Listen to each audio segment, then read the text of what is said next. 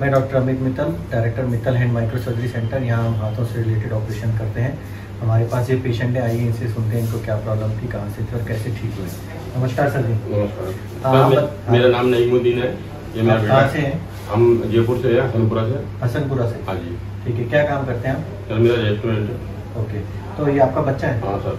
इसे कैसे चोट लगी थी? ये क्या सर? गाड़ी लेके चले था पल्सर तो उस पर गिरा तो दी इसको ट्रीटमेंट लेने में क्या दिक्कत आ रही थी? क्या? ट्रीटमेंट में दो तीन जगह देख, देखा मेरे को समझ में नहीं आया। फिर मैं डॉक्टर चौहान जी के पास गया था उन्होंने आपका रेफरेंस दिया आपके पास आया। कहाँ पे क्या दिक्कत थी उंगली में? इसके यहाँ पस पड़ गया था और ये फ्रैक्चर थी। मांस अच्छा, हाँ, इसका। मांस भी बाहर आ रहा था। अच्छा अच्छा अच्छा तो अच्छा। यहाँ आया तो आपने इसका ऑपरेशन करा।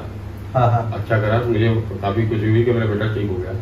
अच्छा। आपके ट्रीटमेंट से। इससे तो ये बिल्कुल तब आपको ये लग रहा था कि उंगली कट ना जाए। हाँ ये मेरे को डर था कि मेरे बेटे की उंगली को वो नहीं हो छोटा है ना वो? छोटा है। लाइफ उसकी खराब हो जाती है। क्या आपके पास आया मैं आपने इसको अच्छा कर दिया। हम्म, हम्म। आज कितना टाइम हो गया इनके ऑपरेशन को? सर इसको ऑपरेशन को आज बयालीस एक दिन हो गए। अच्छा ठीक है। तो ज़्यादा दवाई दी थी नहीं नहीं ज़्यादा दवाई नहीं। हाँ। तो ये बताइए जब ये इतने टाइम में जो इसका ट्रीटमेंट चल रहा था तो इसमें किस, किसी भी काम करने में इसको दिक्कत हो रही थी? नहीं कोई क्लास में सारे नहीं काम कोई कर रहा नहीं सारे काम कर रहा था ये ट्यूशन भी जा रहा था क्लास भी जा रहा था कोई दिक्कत नहीं आ रही कोई दर्द हो रहा था बच्चे आपको? ठीक है। आपको कुछ लगा था कि हमने कोई दर्द दिया ऑपरेशन में भी? नहीं नहीं लगा। और जो वायर निकाली उसमें कोई दर्द हुआ आपको? नहीं। नहीं हुआ?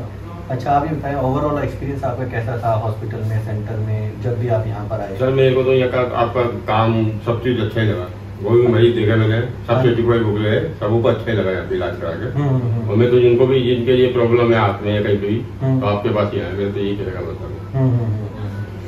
ठीक है तो जो इस पेशेंट जब ये हमारे पास आए थे तो इनकी पूरी हड्डियाँ बाहर आ चुकी थी और कितना टाइम हो चुका था इनको इसको समथिंग महीना भर हो गया था मैं महीने भर महीने से अगर किसी की हड्डियाँ सारी बाहर पड़ी हैं और इन्फेक्शन हो जाए और नाखून खराब हो तो ऐसी स्थिति में ज़्यादातर हम उसको बचाने के लिए उंगली को निकालते हैं, या फिर मल्टीपल ऑपरेशन होते हैं, या पूरी हड्डी निकल जाती है, या नाखून का बिल्कुल ख़राब हो जाता है। लेकिन जब हम इनको देखते हैं तो क्योंकि इन्होंने हमारी बात समझी, और जैसा हमने कहा इन्होंने करवाया तो इनका नाखून भी आने लग गया।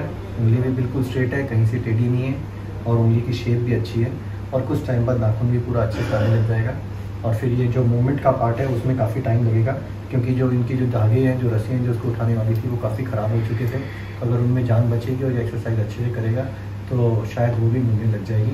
तो जब ऐसी चोट होती है तो हमको यही ध्यान रखना होता है कि हम जो इसका प्राइमरी ट्रीटमेंट लेने के बाद, जो भी जो भी आपके डॉक्टर आपको सलाह देते हैं, उनके अकॉर्डिंगली आप चलें।